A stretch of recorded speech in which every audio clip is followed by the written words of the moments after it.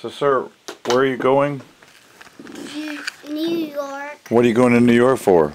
I, my house is, my other house is burned.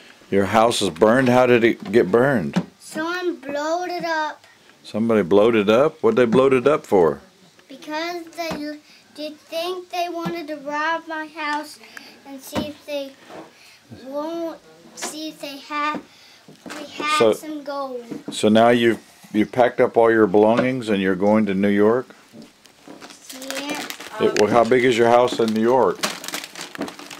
No, I'm living in a building, sir. A building? What kind of a building? A hotel? Or an apartment?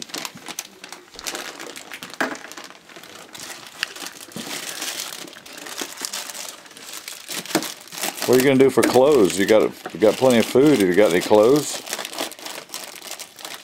Them.